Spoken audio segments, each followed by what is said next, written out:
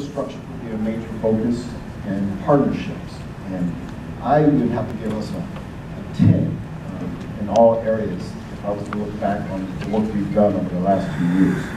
Um, to bring us up to now, um, in the partnership arena, um, we've developed a partnership with the City of Hampton. Um, We've enhanced our relationship with the Fort Monroe Authority. We now have an agreement with the Hampton City Schools where we bring teachers into the space during the summer.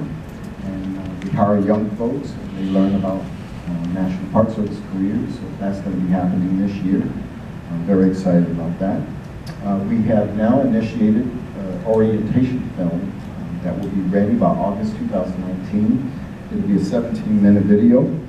And within that video, we'll break it out to what we call webisodes that will focus on the African American experience here at the fort, military history and experience, the American Indian culture, establishing the fort, and natural sciences.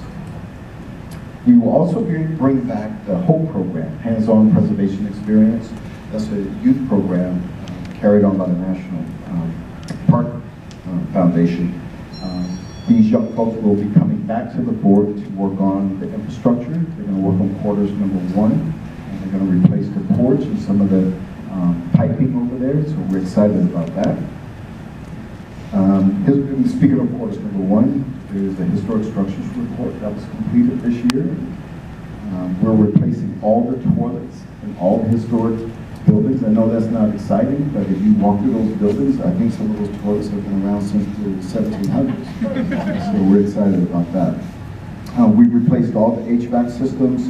Uh, We have a tree assessment that's going to be done this year. And um, one of the proudest things we're really excited to speak about is the one fort um, concept that Glenn and I worked on from the very beginning. And we try not to make decisions in this place without talking to each other, and it's an exciting path to be on. And um, thank you, Glenn, for that that work. I appreciate it. Um, This summer, we're wrapping up our seasonal staff. We have four seasonals coming on by the end of June, um, the end of June.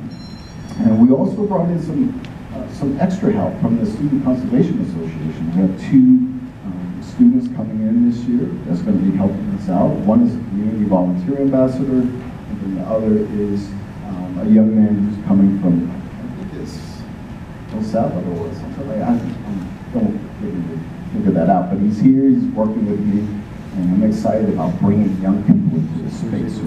We're moving and rocking and rolling. So I think that's enough for now.